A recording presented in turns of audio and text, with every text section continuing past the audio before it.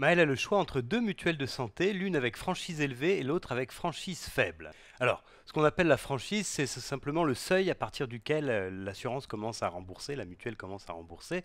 On va voir un peu ce qui se passe. S'il choisit la mutuelle avec franchise faible, il devra payer toutes ses dépenses médicales à hauteur de 1000 euros. Donc la franchise ici, c'est 1000 euros. Au-delà de cette somme, la mutuelle lui remboursera tous ses frais de santé. Les cotisations pour ce plan s'élèvent à 8000 euros par an. Alors, Bon, ça veut dire que s'il paye, euh, s'il a des dépenses de santé pour 800 euros, c'est lui qui devra payer et, la mutuelle ne remboursera rien. S'il a des dépenses pour 1000 euros, il devra payer les 1000 euros et la, mutuelle ne remboursera rien. Par contre, s'il a des dépenses de 1200 euros, par exemple, eh bien, il devra payer 1000 euros et les 200 suivants, c'est la mutuelle qui les paiera. Et puis, euh, si par exemple il a des dépenses de 10 000 euros, il, va payer, il devra payer les premiers 1000 euros et puis les 9 000 restants, c'est la mutuelle qui les prendra en charge complètement. Voilà, donc c'est ça hein, le système de la franchise. Alors on va voir ce qui se passe pour le deuxième, la, la deuxième mutuelle. Donc si au contraire il choisit la mutuelle avec franchise élevée, il devra payer toutes ses dépenses médicales à hauteur de 2500 euros. Donc là la franchise est plus élevée. Au-delà de cette somme, la mutuelle lui remboursera tous ses frais de santé les cotisations pour ce, plan s'élèvent à 7500 euros par an. Donc c'est assez logique que les cotisations soient un peu plus faibles, puisque l'assurance commence à payer à partir d'une somme beaucoup plus élevée. Hein. Donc là, la franchise, c'est 2500 euros. Donc ça veut dire que Maël, s'il a des problèmes pour 2000 euros, par exemple, ça, sera lui qui devra payer. Et si au contraire, il, a des dépenses de santé de 4000 euros, il paiera 2500. Et les 1500 restants, ce sera la mutuelle qui les, qui les prendra complètement en charge. Voilà. Alors, pour réussir à prendre une décision, Maël a déniché des statistiques sur les problèmes de santé que peuvent avoir des gens comme lui. On suppose que la table ci-contre, c'est celle qui est ici, fournit des données correctes sur les probabilités et les dépenses médicales totales pour l'année prochaine. Alors, ici on a ce tableau avec les coûts médicaux et les probabilités associées. Alors évidemment, c'est une simplification assez, euh, assez drastique par rapport à la réalité, parce que là, on a des coûts médicaux qui sont soit de 0 euros, soit de 1000, soit de 4000, soit de 7000, soit de 15000, ce qui n'est pas euh, du tout euh, conforme à la réalité. On peut très bien avoir euh, des dépenses de 20 euros, par exemple, ou bien alors de, de 6500 ou de 7350 euros. Hein. Donc ça, c'est pas une situation conforme à la réalité. Par contre, c'est une simplification assez utile parce que et assez significative en fait quand même parce que c'est d'une certaine manière, on a c'est comme si on avait réparti les coûts médicaux euh, dans des catégories, euh, des fourchettes par exemple, et puis pris dans chaque fourchette une valeur qui est euh, significative de, la fourchette. Hein, voilà. Donc d'une certaine manière, c'est une répartition des coûts médicaux et une simplification qui va permettre en tout cas de pouvoir départager les deux plans possibles. Alors, qu'est-ce qu'on nous demande? En tenant compte du prix de la mutuelle, quelle est l'espérance mathématique des coûts médicaux totaux de Maël s'il choisit le plan avec franchise faible? Le plan avec franchise faible, on a dit que c'était celui où il doit payer 8000 euros par an, ça c'est les cotisations, et puis il, paye toutes les dépenses médicales à hauteur de 1000 euros. Au-delà de cette somme, c'est l'assurance qui paye. Alors je vais prendre la calculatrice, on va le faire directement.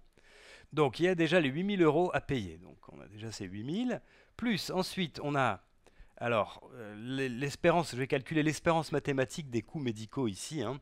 Donc, il faut que je fasse le produit du coût par sa probabilité. Donc, ici, je vais avoir 0 fois 0,3, hein, qui est 30%.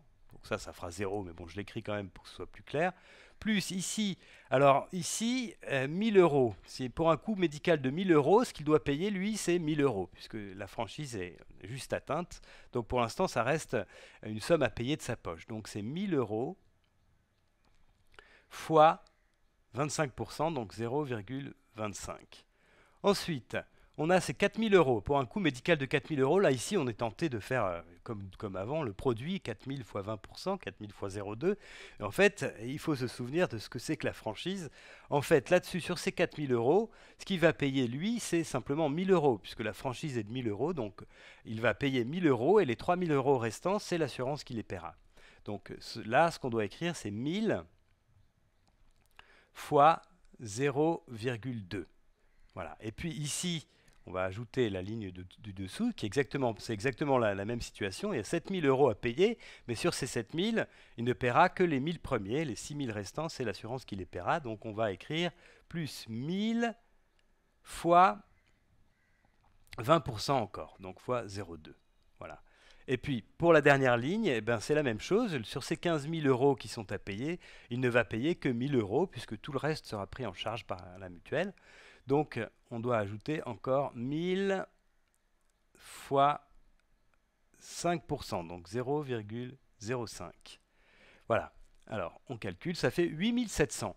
8700 euh, euros. Donc ça, c'est l'espérance mathématique de, des coûts médicaux qu'il devra payer euh, probablement dans l'année.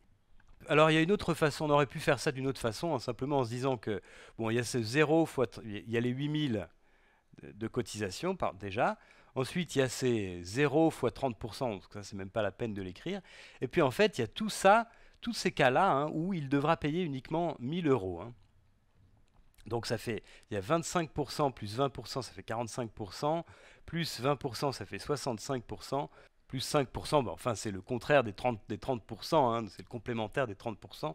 Donc dans tous ces cas-là qui représentent 70%, il devra payer 1000 euros. Donc on aurait pu écrire ça comme ça, 1000 fois 0,7, et normalement on doit trouver la même chose. Voilà, exactement. Donc là, on va pouvoir remplir cette case. Donc ici, son espérance, c'est 8700 euros. 8700, comme on nous demande d'arrondir au centime près, c'est 8700,00.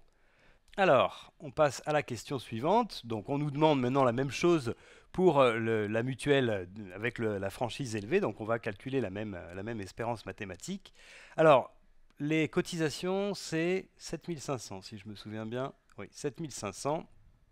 Ça, c'est la cotisation annuelle. Donc, donc on va écrire déjà ces 7500.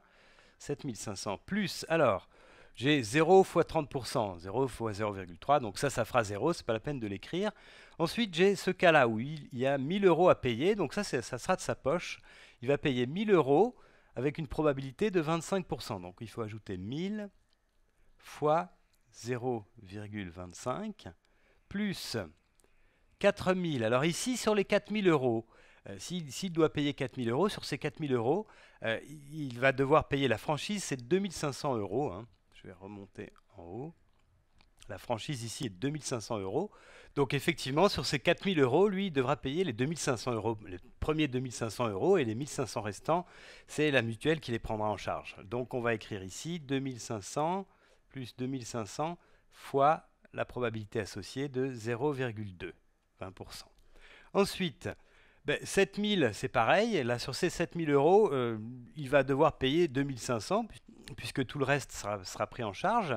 Donc, on va écrire de nouveau 2500 fois 0,2 plus ensuite pour la dernière ligne. Alors on a 15 000 euros. Sur ces 15 000 euros, ben, il paiera uniquement 2500 et puis les 12 500 restants seront pris en charge par la mutuelle. Donc on va rajouter ici aussi 2500 fois 0,05, qui est la probabilité de 5%.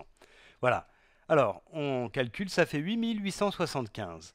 Alors là, je fais la même remarque que tout à l'heure, on aurait très bien pu faire le calcul différemment en disant que on avait d'abord les 7500 euros de cotisation, ensuite 1000 euros fois 25%, et ensuite dans les trois, les, trois cas restants, donc ça fait 45%, 45% des cas, on aurait payé 4500, 2500 euh, euros. Pardon. Donc on aurait pu faire ce calcul différemment. Tu peux le faire, hein, ça donnera exactement le même résultat. Voilà. Donc ici, on a du coup une franchise qui s'élève à 8875,00, puisqu'on doit arrondir au centime, euros. Donc voilà, l'espérance mathématique est un peu plus élevée euh, dans ce cas-là.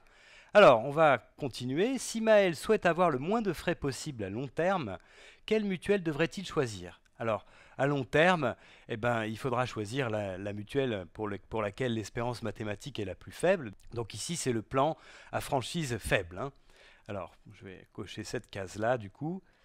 Bon, c'est un exercice, hein, il ne faut pas prendre ça comme, comme une, comme une règle générale, hein. les mutuelles à, long terme ne sont pas toujours plus intéressantes quand, la franchise est faible, hein. ça dépend vraiment de la situation. Mais là, quand on est dans cette situation-là, avec les données qu'on a, bah, c'est plus intéressant à long terme de choisir euh, la mutuelle à franchise faible.